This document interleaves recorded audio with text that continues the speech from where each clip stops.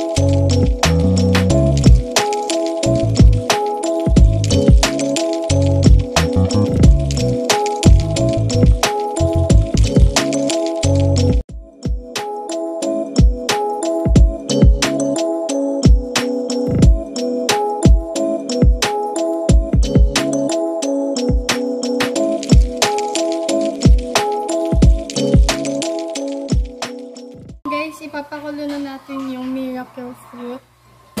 Ay, oo, ipapakulo.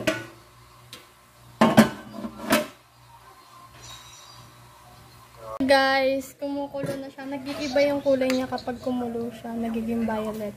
So, haluin ko lang siya para maluto yung nasa taas. Guys, malapit na siya maluto. Nagiging violet na siya lahat. Antayin lang natin siyang matunaw yung mga buo-buo. Pwede na natin siyang isara. Na guys, luto na siya. Hintayin na lang natin siya lumabig, lumabig bago salain. And guys, naluto na namin siya at na hindi na siya masyadong mainit. Ito na siya guys. So, titigman na natin kung anong lasa niya.